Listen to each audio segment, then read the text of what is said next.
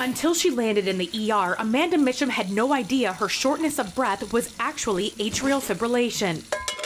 I could be just sitting and I just felt like I had ran a 10 mile run. When medication failed to correct Amanda's AFib, her best option became a heart ablation, a surgical procedure that uses high energy to create a lesion in the precise location that is throwing off the heart's rhythm. While it's an effective treatment, it can also cause damage to the esophagus, which lies just 5 millimeters away. That thermal effect can result in an injury to both organs where you get this communication which becomes a very serious life-threatening problem. Dr. Emile Daoud at the Ohio State University Wexner Medical Center helped create a way to move the esophagus an entire inch away from the heart during treatment. The device is inserted down the patient's throat, gently shifting the esophagus left and right, moving it out of harm's way. By pulling in or using suction force and then moving the entire segment over to the side, you then create a safe pathway where the physician can deliver the energy to treat the atrial fibrillation.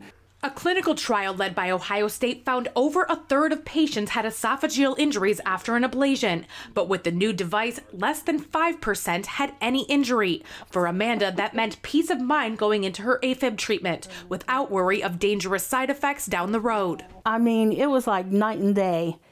Uh, my breathing, I mean, the breathing was so much better and just the overall the way I felt. At the Ohio State Wexner Medical Center, this is Barb Consiglio reporting.